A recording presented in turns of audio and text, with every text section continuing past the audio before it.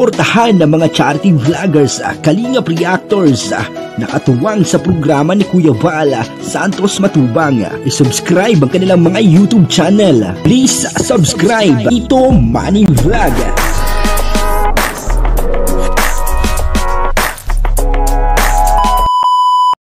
O yun po, no? dito po ay makikita natin kung gaano kaganda yung paliwanag ni Kalingap Dan ano, tungkol sa true love. Ah, ano po tayo ngayon eh, mga topic natin ngayon eh, tungkol sa mga pagmamahal. Ah, ah, panoorin po natin yung video at ah, bibigyan po natin ng konting reaction. Pero bago po yan, ako muna po ay siyempre bumabati sa inyong lahat ng magandang umaga, magandang tanghali, at ah, magandang gabi sa inyong lahat mga kapatid saan man kayo ng panig ng mundo naroon ngayon ay mag-iingat kayo palagi at uh, pagpalain kayo ng ating Panginoon. Maraming maraming salamat din po sa patuloy na tumatangkilik sa aking YouTube channel at nanonood sa aking video reaction. Patuloy lang po natin suportahan sila Kuya Bal Santos Matubang, Kalinga Prab at uh, Ate Edna Vlog. O ito po yung video no na kung saan ay talagang uh, napakaganda nung paliwanag ni uh, Kalingap Dan tungkol po doon sa true love. Ayun uh, no. At uh, supportahan po natin no, si Kalingap Dan. Ano po? At ang kabuuan po ng video ito ay mapapanood po natin sa YouTube channel ni uh, Pastor E.R. Villa Gomez. Uh, yun po, no? Supportahan din po natin si Pastor E.R. Villa Gomez. Ito po yung video. Base lang to sa akin, sa experience ko, pas. Uh, nalaman ko lang yung ano yung, yung true love habang ano on uh, on process na siya habang habang nangyayari na. Tapos after a year din, parang doon lang lumabas kung kasi ano eh, parang mas pinipili mo siya kahit na mga nag-aaway kayo may mga times. Pero nag, mas pinipili mo na magstay parang maayos parang doon mo lalabas yung true love.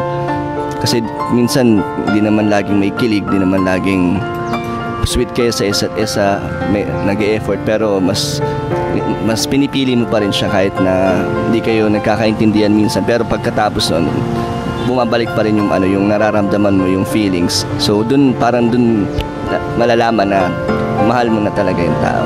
Ganun lang. Po nagkaroon ka na ng ganong parang ano uh, sa'yo ngayon na parang naisip mo siya na.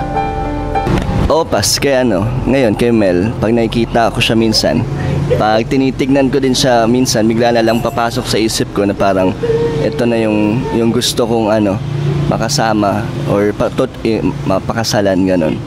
Hindi, ayun, ganun nga pas, na nakita ko minsan kay Mel, parang out of nowhere, bigla na lang papasok sa isip ko na ito na, sure naman ako, na hindi naman nagbabago yung decision or yung pangako ko sa kanya, na siya nga yung gusto kong makasama. Nangyayari yun pas, nararamdaman din talaga.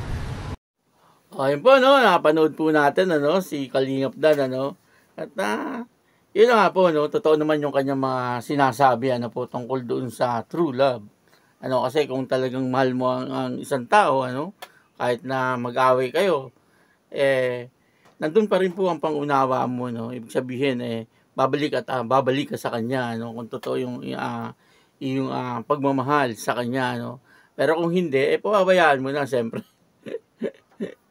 Pababayaan mo na po siya kasi siyempre eh hindi naman totoo yung yung pagmamahal ano kagaya nga po ng sinabi ni uh, Kalingap Dan ah, na talagang pagka mahal mo daw po yung uh, isang tao eh nandoon yung uh, malawak mong pangunawa para sa kanya ano at uh, kahit na nga daw po mag-away kayo eh pipiliin mo pa rin na nandoon sa tabi ng iyong uh, minamahal ano at ang kanyang true love eh yung kanyang uh, girlfriend ngayon ano yun ang kanyang uh, true love at uh, parang ito na po yung babaeng kanyang pakakasalan. Ano? Sana eh, ah, sana eh talagang ah, sila ng dalawa. Ano po. Pero i-claim na po natin na sila ng dalawa. Kasi sabi nga ni ah, ah, Kalingap Dan, ano, minsan eh natutulala siya ano, at nakatingin siya dun sa kanyang ah, girlfriend at ah, iniisip niya na ito na yung babaeng aking pakakasalan. Ano, napakaganda, no? Talagang napaka-romantiko naman ito ni ni Kalingap Dan, ano? At dati po si Kalingap Dan eh, talagang napakabait, ano.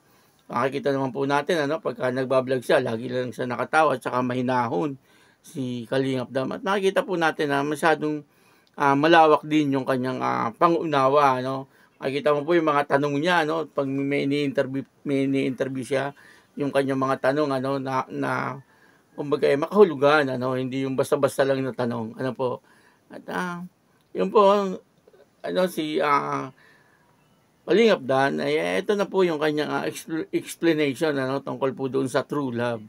Kaya yun po, ano, supportahan po natin na Kalingap Dan, at ah, ganun din po si ER, ah, Pastor ER Villagomez, ano, Kalingap Rab, Kuya Bal Santos Matubang, at ah, Ate The Vlog.